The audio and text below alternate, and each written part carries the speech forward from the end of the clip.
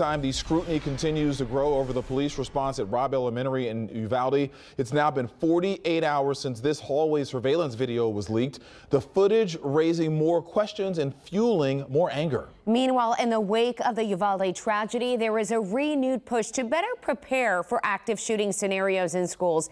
KPRC2 Investigates was invited inside this training session that you're about to see here, where school staffers trained by law enforcement were put to the test. Investigator Mario Diaz was there for that intense training in Round Rock, and now he's live in our newsroom with an inside look at those exercises. Mario. Keith, we have seen school districts, police departments in recent days conduct active shooter simulations on campus, but the one held by the state in Red Rock on Monday was much different, focusing on the growing practice of law enforcement trained school marshals.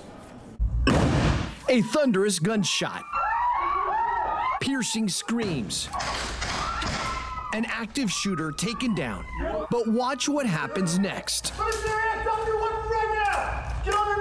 The people who initially took out the shooter in a school active shooter scenario are school marshals trained by the Texas Commission on Law Enforcement. The school marshals are civilians who are highly trained to step up in the role that they would have if they had a peace officer there. School staffers providing an immediate response. Currently, there are 256 marshals in Texas. Again, not law enforcement, but school staff with 80 hours of physical and psychological training established by TCOLE policies.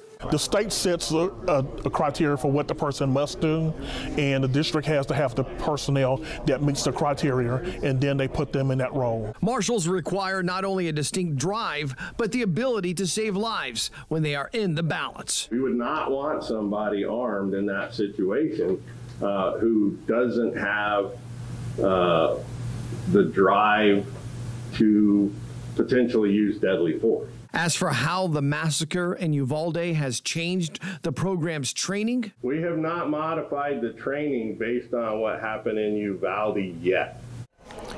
According to Solomon Cook, president of the Texas School Districts Police Chiefs Association, interest in adding marshals from various districts has intensified, intensified post Uvalde.